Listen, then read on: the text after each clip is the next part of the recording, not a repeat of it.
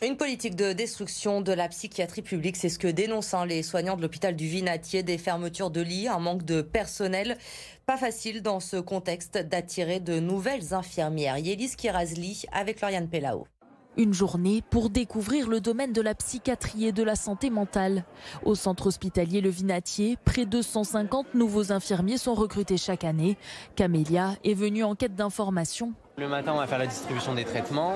Ensuite, on va avoir euh, la relève avec les médecins. Elle souhaiterait postuler pour septembre prochain, après l'obtention de son diplôme. Euh, je suis venue ici du coup pour en apprendre un peu plus sur euh, les différents services du Vinatier. je suis partie voir du coup la gériatrie. Je suis partie voir les, les postes urgences. je suis un peu allée partout aujourd'hui pour voir ce qu'ils avaient à me proposer.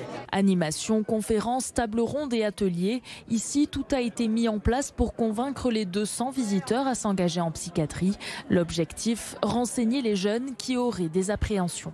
Ils se posent beaucoup de questions, notamment pour euh, les plannings. Aujourd'hui, les horaires de travail sont très importants pour euh, la vie personnelle. Le salaire, est le métier d'infirmier est souvent euh, sous-coté.